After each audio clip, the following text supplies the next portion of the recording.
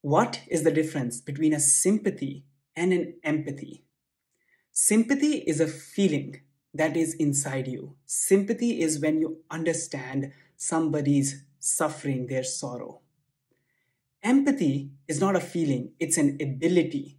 It's an ability to understand others' perspective, to understand why and what they are saying and why they are saying that, what might have gone through in their life that they are coming up with this opinion.